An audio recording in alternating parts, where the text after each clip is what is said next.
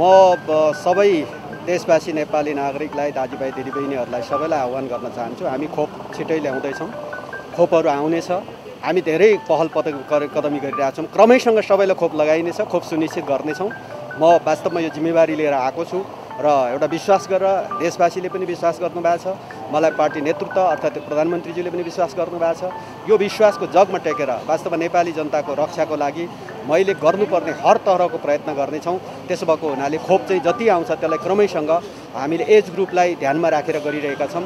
त्यसैले यो अलि भिडभाड नहोस् र हाम- हामीले साठीदेखि चौसठी वर्षकै उमेर अवधिकोलाई आज पच्चिस गतेदेखि खोप लाउनेछौँ। तर यो भिडभाड नहोस् भनेर एक दिन एक दिन बिराएर त्यो एजको कुरा गरे हो त्यसैले त्यो कुनै संशोधन गरेको होइन।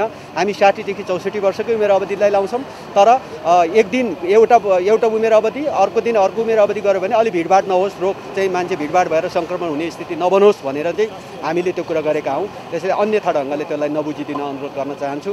साठीदेखि चौसठी वर्षको उमेर अवधिकोलाई लाउँछौँ र उसको लागि दोस्रो डोज पनि हामी सुरक्षित गरेर राखेका छौँ। त्यही जसले लाउँछ उसलाई दोस्रो डोज चाहिँ हामी सुरक्षित गरेर उनीहरूलाई फेरि सुरक्षित गर्छौँ र अरू बाँकी जसले पहिलो डोज लगाएर बाँकी रहेकाहरूको लागि पनि छिटै खोप ल्याएर त्यो दोस्रो डोज लगाउने कुरामा हामी प्रतिबद्ध छौँ र अरू आम नागरिकलाई खोप लाउनको लागि आवश्यक पर्ने खोपको व्यवस्थापनको लागि हामी प्रयत्न गरिरहेका छौँ।